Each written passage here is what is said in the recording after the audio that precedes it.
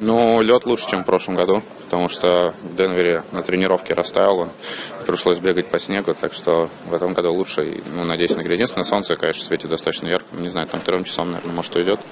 Ну, посмотрим.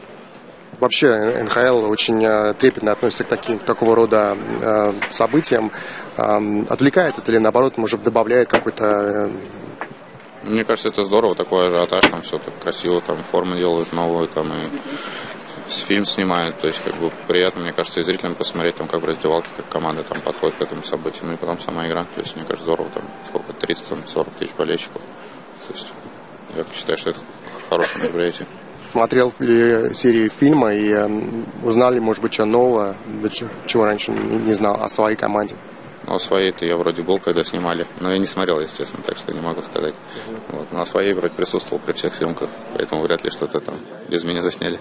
Ну, вообще это отвлекает, может быть, нет это от, от вашего нормального рабочего процесса или нет? Ну, меня немного снимали, так что так, прятался от камеры.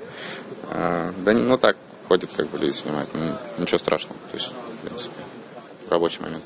Чемпионат ближется к экватору. А как оценишь вот выступление вашей команды сейчас на данном этапе? Ну, мне кажется, неудачное, потому что мы не входим там в зону плей но плюс в том, что, в принципе, наш дивизион там не лучшим образом все играет, большинство команд, поэтому, принципе, сейчас кто начнет выигрывать, начнет какую-то победную серию, и попадет в плей и надо сделать так, чтобы это были мы.